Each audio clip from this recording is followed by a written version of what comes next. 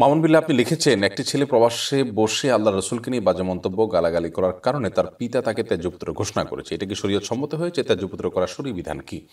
আমরা এর আগে একাধিক বক্তব্যে একাধিক প্রশ্নের উত্তরে বলেছি, ত্যায্যপুত্র মানে কোনো সন্তানকে নিজের সন্তান নয়, তাকে ত্যাগ করার ঘোষণা দেওয়া। যেমন সন্তান হিসাবে তাকে আমি, আমার সন্তান ছিল বাট আমি তাকে ত্যাগ করেছি, এখন থেকে তার সাথে আমার সন্তান পিতার সম্পর্ক নয়। তো আসলে সন্তান এবং পিতার এটা তো এমন একটা সম্পর্ক, এই সম্পর্কটা কখনো পরিবর্তন করার মতো নয়। এটা স্থায়ী একটা সম্পর্ক। তবে কোনো সন্তান যদি নবী করিম সাল্লাহ সাল্লামকে গালমন্দ করে, তাহলে মুসলমানের ঘরে জন্ম নেওয়া এই সন্তান তিনি ইসলাম থেকে খারিজ হয়ে যান। আর সন্তান যখন ইসলাম থেকে খারিজ হয়ে যায় অটোমেটিকলি বাবার সম্পদ থেকে তার যে হিস্সা পাওয়ার সুযোগ ছিল সেটি শেষ হয়ে যায়। ওয়ারিস হিসাবে আর থাকে না, মুসলমানদের কবর দাফন হওয়ার অধিকার তারা থাকে না। অতএব সেই এমনিতেই তার বাবার সাথে তার যে একটা আত্মিক বন্ধন ছিল, সেটি তার এমনিতেই ছিন্ন হয়ে গেছে। অতএব তাকে আর তেজ্যপুত্র ঘোষণা করার দরকার নেই। তবে যেটি বলছিলাম যে আপনার বাবা পুত্রের সন্তান এবং বাবার সম্পর্কটা এরকম যে এটা তো আসলে পরিবর্তনযোগ্য কোনো সম্পর্ক না তো সেই জায়গা থেকে বাবা তার সন্তানকে আপনার সাধারণ অবস্থাতে যত অন্যায় অপরাধী করুক না কেন, তাকে ত্যাগ করবেন না। কারণ আত্মীয়তার বন্ধন রক্ষা করেই আপনাকে সব কিছু করতে হবে।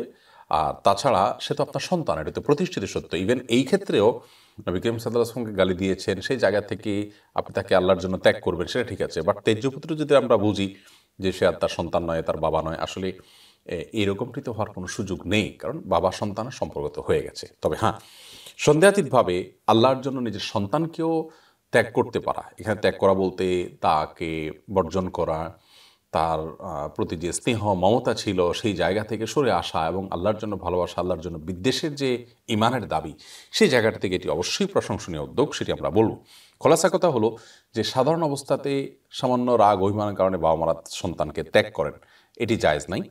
তবে অমুসলিম হয়ে গেলে ইসলাম থেকে খারিজ হয়ে গেলে সন্তান, সেক্ষেত্রে তিনি এমনিই তেজ্য হয়ে যান, অর্থাৎ এমনি তার ওয়ারিস থেকে তিনি মিরাজ থেকে বঞ্চিত হয়ে যান এবং তার সাথে আর সেরকম সম্পর্ক থাকে না। তবে হ্যাঁ কাগজে কলমে অবশ্যই এই ছেলে তার বাবা হিসাবে ওনাকে এবং বাবা তার সন্তান হিসাবে তাকে উল্লেখ করবেন, কারণ তাদের এই সম্পর্কটা কোনোভাবেই আপনার এটা ভঙ্গ হওয়ার কোনো সুযোগ নেই বা এটা পরিবর্তনের কোনো সুযোগ নেই। তবে বাবা তার সন্তানকে আল্লাহর জন্য ত্যাগ করেছেন। এটি প্রশংসনীয়।